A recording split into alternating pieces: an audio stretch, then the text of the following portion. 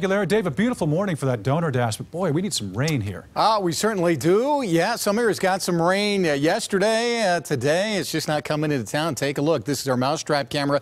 You see some thunderstorms down south trying to build up, but blue skies overhead and a real warm day still going on. There are some storms out there. Take a look. Some of uh, them are firing up right along the Continental Divide, east of the Continental Divide here, with some pretty good thunderstorms uh, from Larimer County all the way down to the top of Park County around Como down here.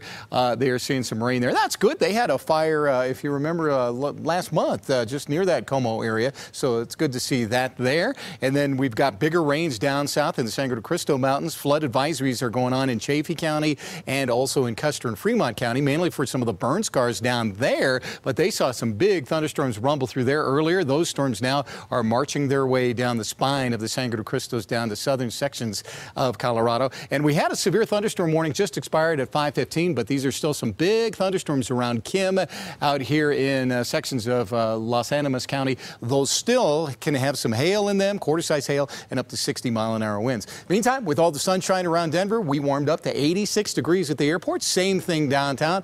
Below normal for this time of year. Normal high is about 90. I don't know if that makes you feel better. It's still pretty hot uh, in my book. 54 and 57 were our morning lows, and out there right now, uh, oh, we've warmed up to 87 downtown, and an east wind at 11 miles per hour, 28 percent relative humidity. So the future cast uh, forecast for tomorrow now, there's our little disturbance that brought the rain to eastern Colorado uh, yesterday. That's starting to push out. High pressure is going to kind of just spread out across the nation's midsection here. Despite this little weak cold front going through Wyoming, we're still going to heat up in a lot of locations. Look at this in the southwest, triple digits and 90s all the way up to Salt Lake City. And you can see uh, 90 degree temperatures all up and down the midsection of the country here. And Denver will be included in that heat as well. So the thunderstorms tonight will wind on out of here. Tomorrow morning will be mostly clear across the state. Now there will be a few isolated thunderstorms in the mountains tomorrow afternoon popping up to the north. So we'll put about a 10% chance of thunderstorms from Denver up to Cheyenne and out over the northeastern plains for tomorrow.